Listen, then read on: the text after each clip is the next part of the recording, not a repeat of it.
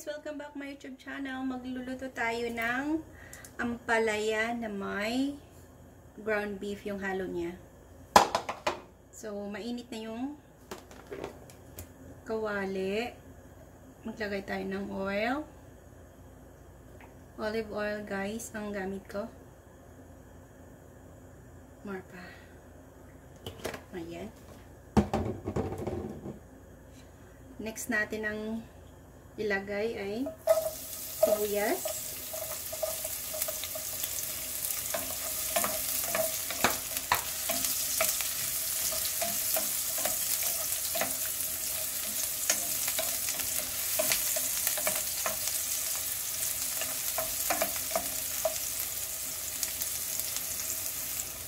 Next naman, garlic.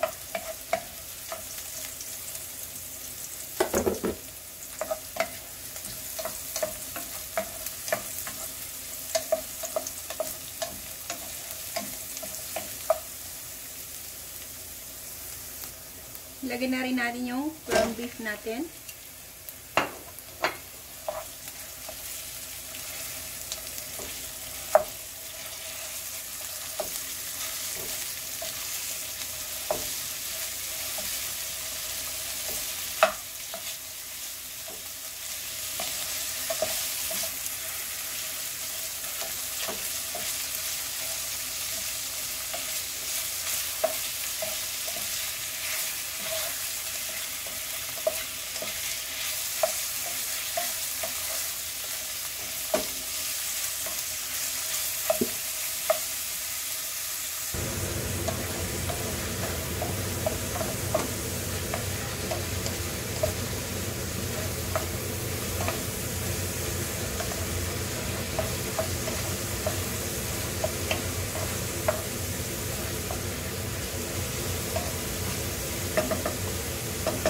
Lagyan na rin natin yung palaya.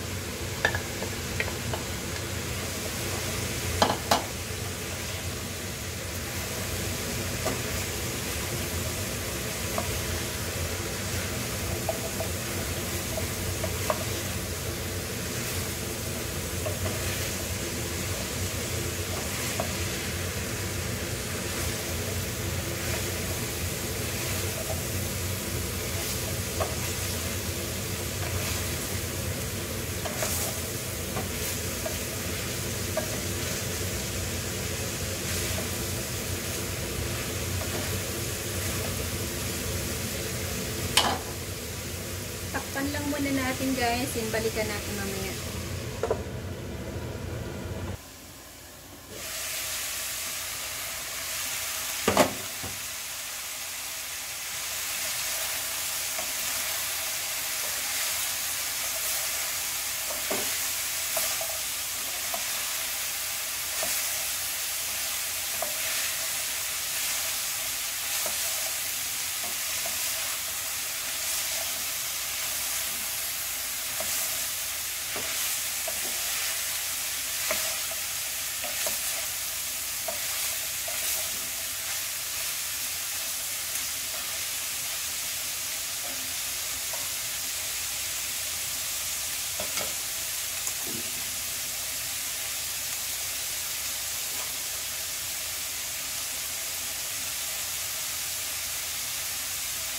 Maglagay tayo ng green onion.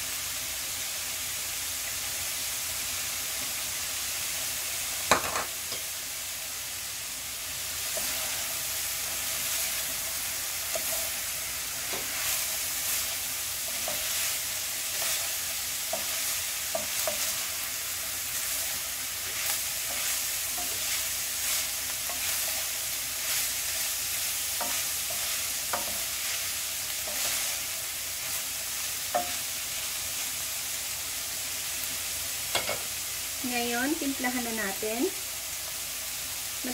Maglagay tayo ng oyster sauce.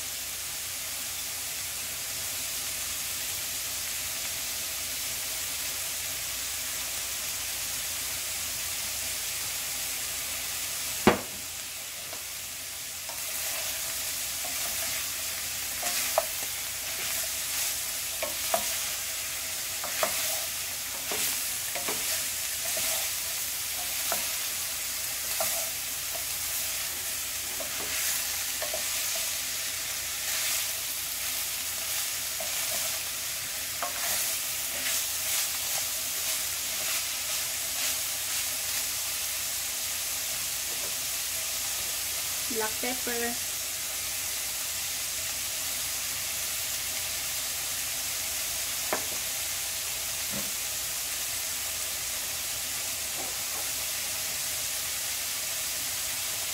Lagyan lang natin ng konting tubig.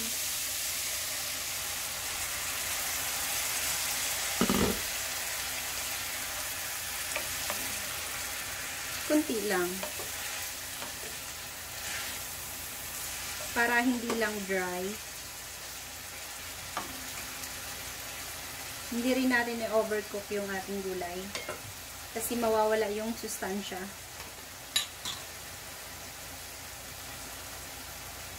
Tapos naman ngayon guys, maglagay din tayo nito. Mga isang kutsara.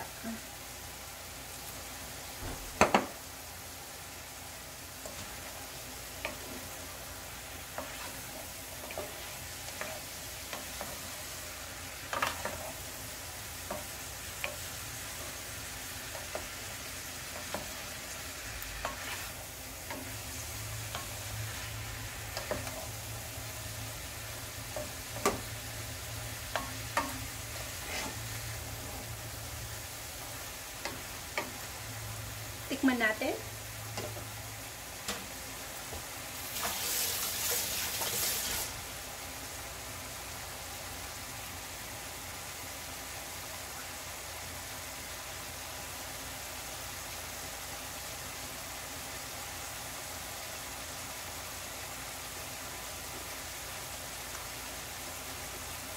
Mm.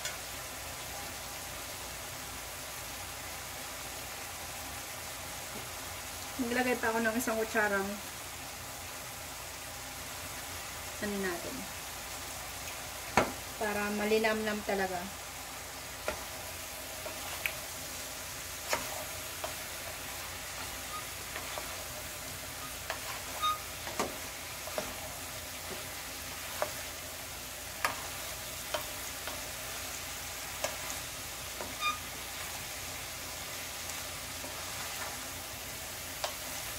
Hinaan natin yung apoy para hindi ma-overcook yung ating gulay. Hindi ko pala guys pinigaan yung ampalaya natin para nandyan pa rin yung kanyang sustansya. Tikman natin ulit. Kasama yung ground beef.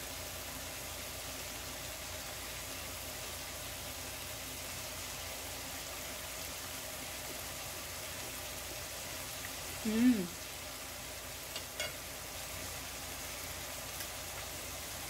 Kunting salt lang ilagay natin. As okay na. Ayan, okay na yan.